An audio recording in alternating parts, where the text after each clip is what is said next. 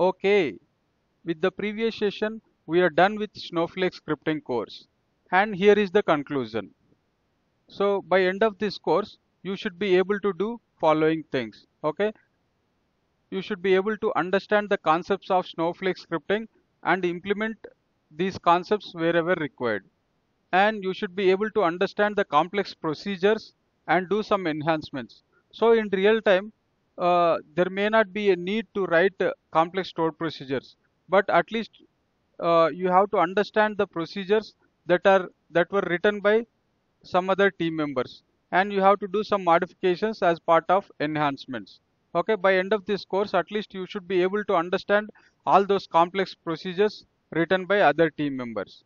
And you should be able to write small stored procedures also you can try writing difficult procedures and complex procedures as well. Okay? And you should be able to write scalar and tabular UDFs so after the completion of the course still if you are able to if you are not able to write the stored procedures or if you are struggling to write the stored procedures then i can suggest below things. Okay? First you have to understand the requirements.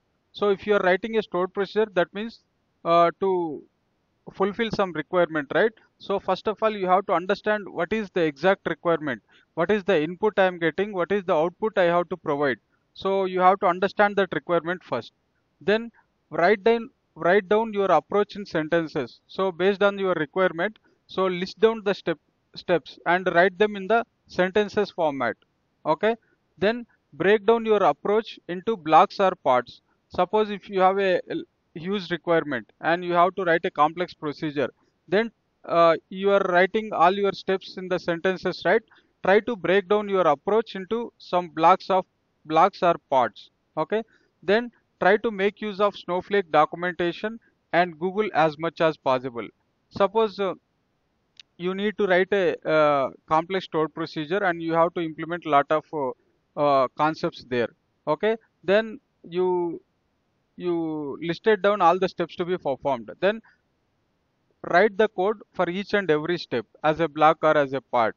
Okay, so if you're uh, if you have any doubts in writing that, okay, so there is very good uh, very good snowflake documentation available in the snowflake website. So try to make use of that. And nowadays there is lot of documentation in google as well. So lot of people providing blogs on snowflake so whatever the issues they are facing what is the solution for that? And all the advanced concepts they are covering. So try to make use of the google as much as possible. Okay so don't depend on others. So uh, you should improve your debugging skills. That means if you are struggling somewhere so you you have to know how to use google to get out of that situation. Or if you are facing any error any issue so how to use google uh, to fix that issue. You should not depend on others every time okay? And no need to worry. So 90% of the cases you will get a solution from the snowflake documentation or from the google. So after doing all of this still if you are struggling to write the procedure okay reach out to me. I can help whenever i get some time. Okay? So finally i can say so don't just go through the videos practice the queries and procedures so that you will get very good hands-on experience and try and try until you succeed. So after one day or two days uh, okay so don't give up. You try and try until you succeed. That means try your try your best to learn the concepts and uh, write the stored procedures and learn from failures. That means so if you are facing any error or if you are struggling to uh, write something okay so learn from that failures okay and don't repeat those mistakes again uh, suppose you are facing one error today and after a lot of effort you are able to fix it. Okay? So list out that. So what is the error you have faced and what is the solution you have applied.